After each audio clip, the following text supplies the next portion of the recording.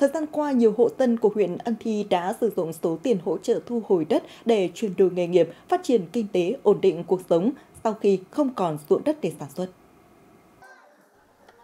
Gia đình chị Nghiêm Thị Huệ có hơn hai sáu đất nông nghiệp phải thu hồi phục vụ dự án đường Tân Phúc Vong Phan. Sau khi nhận được gần 300 triệu đồng tiền bồi thường, hỗ trợ thu hồi đất, chị Huệ có thêm nguồn vốn mở rộng thêm một kiosk tại chợ Tân Phúc. Các mặt hàng kinh doanh cũng đa dạng và phục vụ nhiều đối tượng khách hàng hơn. Chồng chạy xe chở công nhân ờ, đi làm, có tiền thêm thì lại mua cái xe đẹp hơn đổi xem cái xe đắt hơn để đảm bảo hơn. Ngoài cái giờ chạy công nhân thì mình cũng vẫn chạy thêm khách đi du lịch hoặc là khách đi ờ, đám cưới. Xe đẹp hơn thì dĩ nhiên là nó sẽ đông khách hơn, nó sẽ ờ, thu nhập được hơn một chút nữa.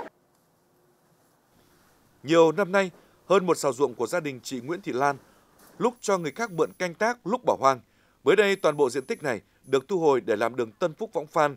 Chị Lan nhận được 230 triệu đồng tiền bồi thường Phần lớn số tiền được chị đầu tư mở rộng các mặt hàng kinh doanh, cửa hàng của gia đình cũng phát triển hơn, cho thu nhập từ 8 đến 10 triệu đồng mỗi tháng.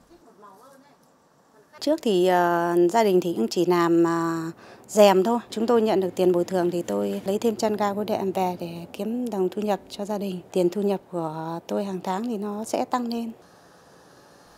Những năm qua, huyện Ân Thi triển khai hàng chục dự án, trong đó có những dự án trọng điểm của tỉnh như khu công nghiệp sạch, khu công nghiệp số 3, số 5, các cụm công nghiệp Quảng Lãng, Đặng Lễ, Quang Vinh, Vân Du, đường nối hai đường cao tốc, đường Tân Phúc, Võng Phan, diện tích đất phải giải phóng mặt bằng lớn, đặt ra bài toán về ổn định cuộc sống cho những hộ dân bị thu hồi đất.